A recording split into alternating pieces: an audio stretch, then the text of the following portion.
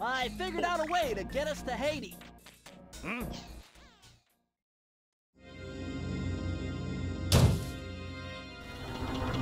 The third member of the Fiendish Five was the infamous voodoo priestess, Ms. Ruby. Born into a family of mystics, other children found her mm, scary. Teaching herself to summon the undead provided what few friends she had. A career in crime allowed an adult Ms. Ruby to punish the world for fearing her as a child. Chief mystic for the Fiendish Five, her powers allowed them to break both the laws of man and nature at the same time. Yet despite the whirlwind success of her youth, she managed to slip into obscurity. Last known sightings claim she headed out of civilization and deep into the Haitian jungle.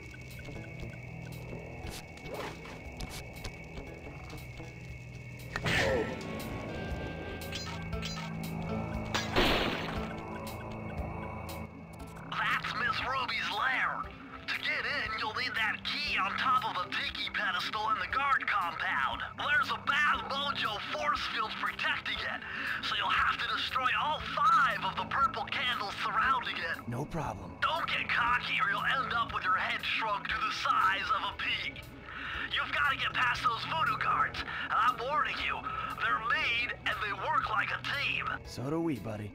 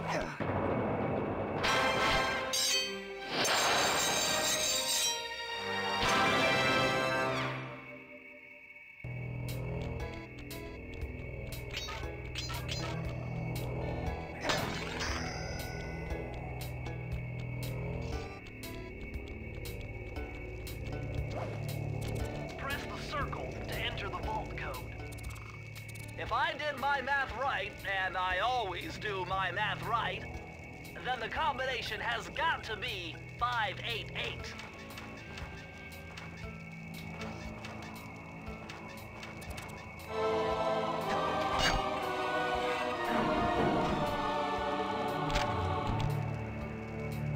Electrified! Kelly McCooper's notes on how to harness the electromagnetic field created by a rolling raccoon. Now your raccoon roll move will really pack a punch. Plus, it should give you a nice tingling sensation.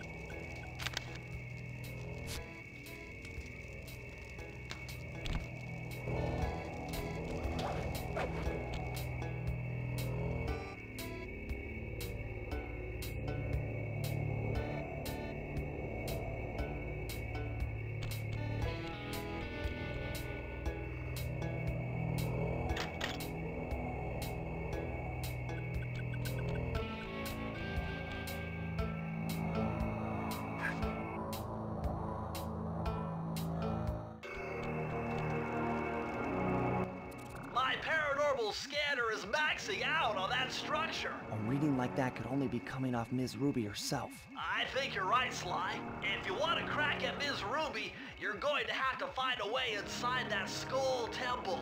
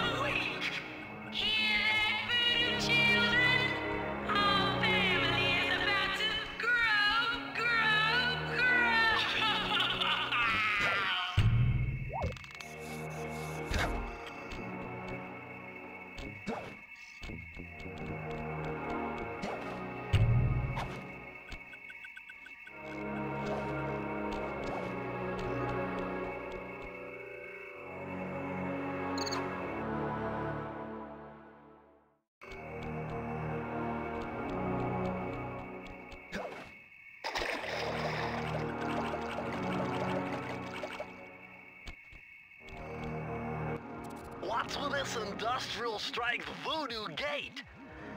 Ms. Ruby must really be trying to keep something out. Or maybe she's trying to keep something in.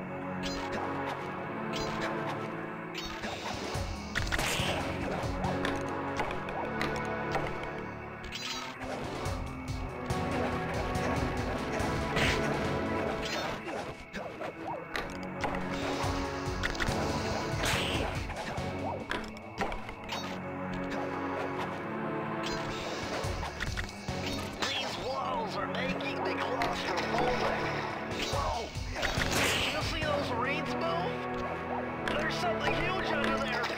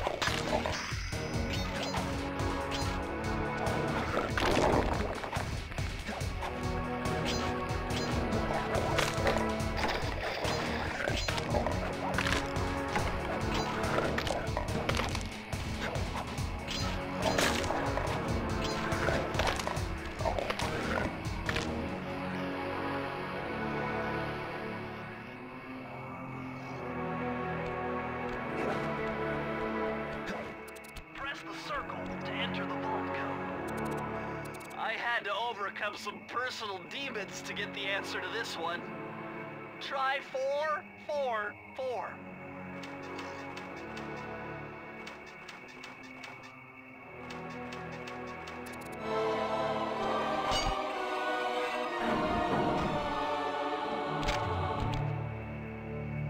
Ah, a more modern entry.